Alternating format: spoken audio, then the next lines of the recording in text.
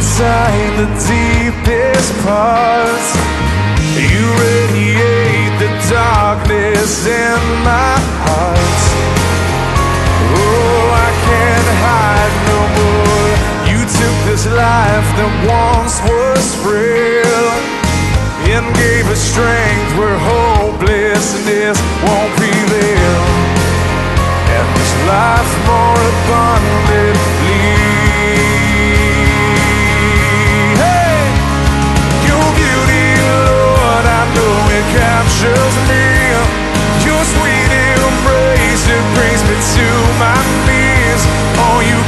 capture me.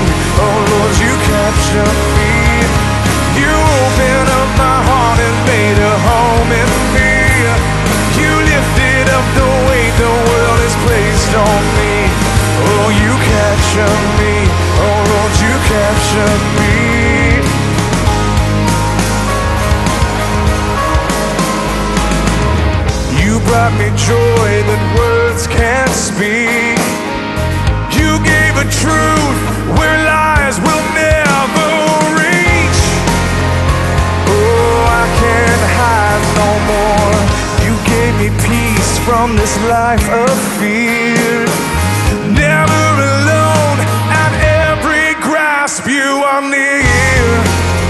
And this life more abundantly. Oh,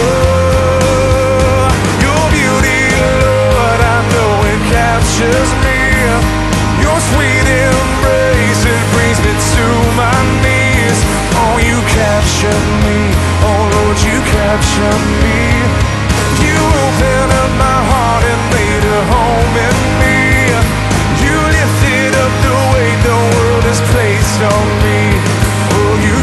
Capture me.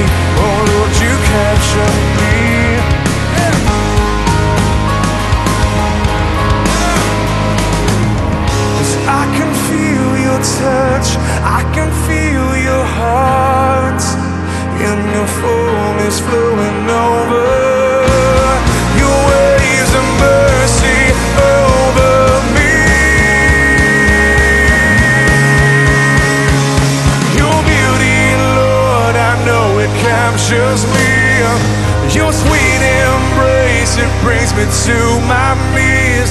Oh, the love you show, it pours all over me.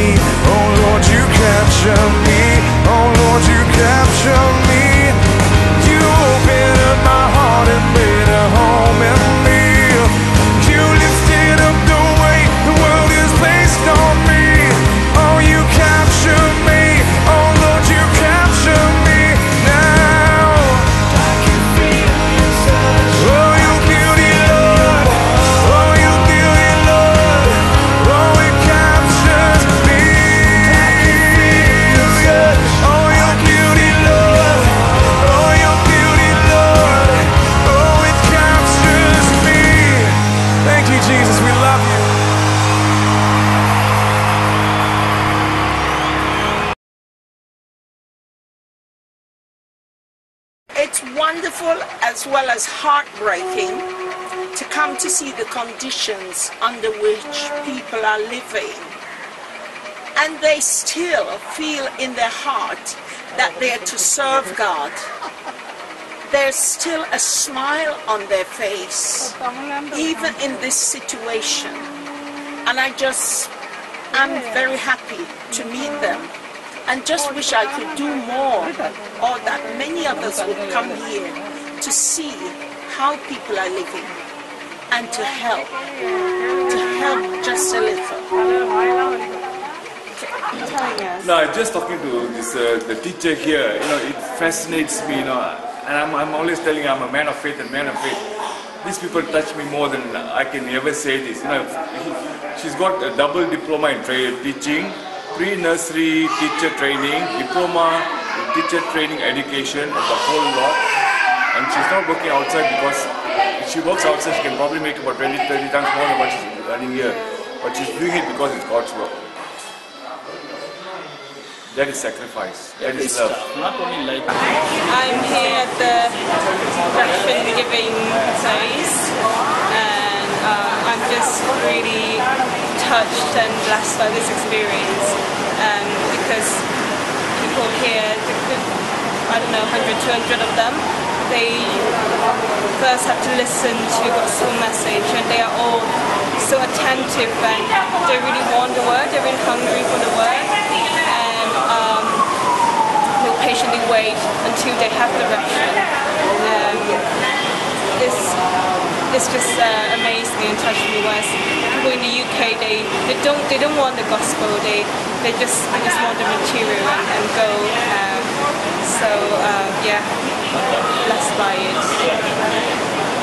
Help me not to moan anymore. Help me to stop moaning and see my blessing. See the privilege that you have given to me, O Lord. Help me that when I go back to Ghana, when I don't see my way clear, when I can't, don't have the last 10 cedi or 5 cedi, Lord, help me not to moan or groan. Just help me to look to you.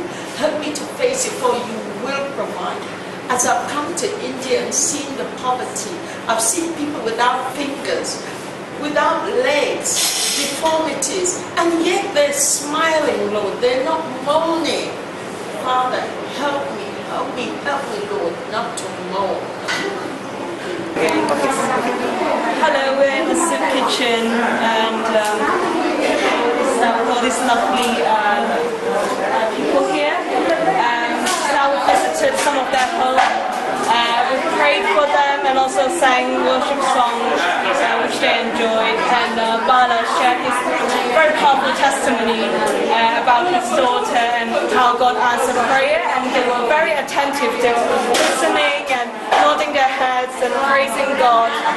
Um, so yes, we're having a good time here. They are about to have their meal uh, for all of them. Um, so yeah, thank God for this opportunity, and we're having a great time. Okay, when the tsunami came, they had to get away from here. They were not lost. They were not worried about what they were going to lose. They was they were they were very happy that they could save, save their lives. So, they, but then they had to go from place to place because for, when they moved, when they, they, they had to keep moving because the, the tsunami was coming all over the place where they were going as well. But eventually, in that respect, they were not even worried about what they lost. So they were happy that you know they are they are alive. Yeah. It's just